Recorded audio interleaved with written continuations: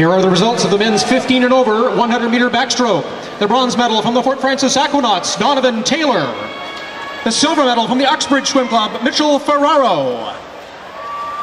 And the gold medal from the Killarney Swim Club, Chris Toth.